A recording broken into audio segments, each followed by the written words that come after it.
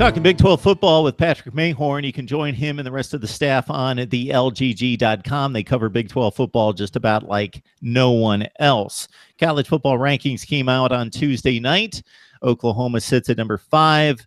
And uh, that's really what's relevant right here. TCU with an outside shot looking in at number 10 in the rankings would need a whole lot of help, but they certainly can win the Big 12 championship and uh, at least put that checkbox in their column if uh, they are able to avenge a loss to Oklahoma earlier this season, just a few weeks ago. Patrick, your thoughts about uh, the college football rankings? Not a whole lot of uh, upheaval this week because everything pretty much went uh, chalk.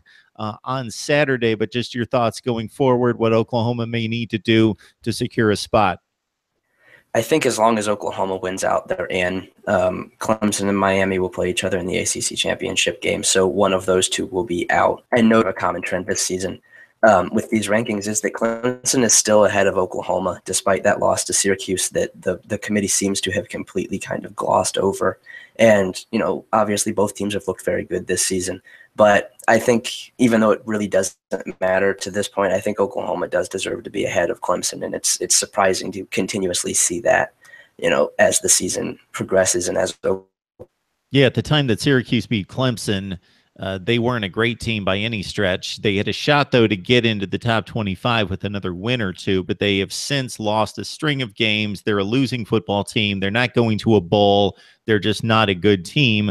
Whereas Iowa State, despite a couple recent losses, still stand at five and three in the conference, a very respectable seven and four record with some very strong wins in their win column and some close losses against some decent opponents. So Iowa State, the much better loss for Oklahoma, and I would agree completely. And I've got Oklahoma ahead of Clemson, certainly in my rankings in particular. But I also have to agree that if Oklahoma takes care of business, wins its final two games, that they should be in great shape. I would think that the only possible issue would be Auburn wins out in the SEC. Alabama sitting there at 11 and 1, but they're at home for the SEC championship game. And there's a similar scenario in the ACC with Miami losing a close game. And then you've got two one loss teams also in the ACC. And then Wisconsin wins the Big Ten and they're undefeated, that there could be some kind of logjam. But I would still say that that conference championship, and especially with the Big 12 playing very good this season